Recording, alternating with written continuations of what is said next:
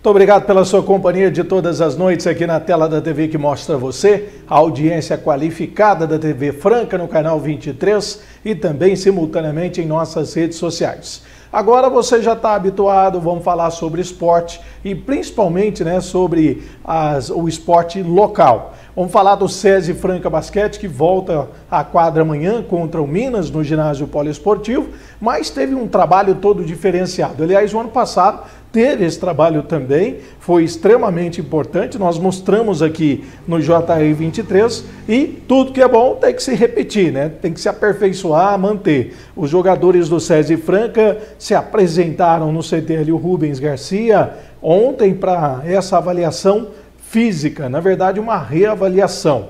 Vitor Tavares, avaliador de desempenho do SES São Paulo, veio até Franca para a realização dos testes, auxiliando Douglas Nazar, preparador físico do SESI Franca Basquetebol. No primeiro bloco, os jogadores fizeram testes de saltos, no qual são avaliados a produção e a potência. No segundo bloco, foram feitos os testes de velocidade, que é isso que você está vendo agora na tela do JE 23, visando a mudança de direção dos atletas e as suas corridas lineares.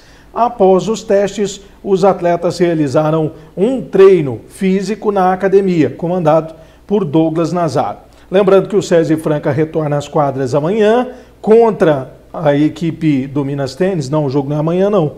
O jogo é no dia 29, então é na semana que vem, né? Então você apaga a informação que eu falei que o jogo é amanhã, não é amanhã. O jogo é dia 29 do 2. Deixa eu só confirmar, né, aqui se realmente está correto em relação à data do jogo, né, do SESI Franca Basquetebol. Mas enquanto isso, vamos entender como foi esse trabalho importante feito aqui na cidade pela é, equipe do SESI que veio de São Paulo e também o Douglas Nazar acompanhando todas as informações. Na sequência eu confirmo aí a data e horário do jogo Franca e Minas pelo NBB. Joga aí na tela então o Vitor Tavares e o Douglas Nazar.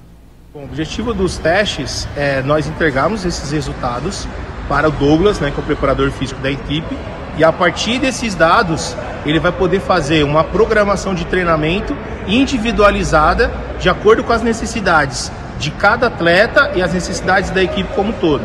Então, analisando as capacidades físicas que tem no basquete e as características da equipe, ele consegue montar todo um programa de treinamento destinado para cada um dos atletas. No início da nossa temporada, nós nós realizamos os testes físicos e agora fizemos os retestes, né?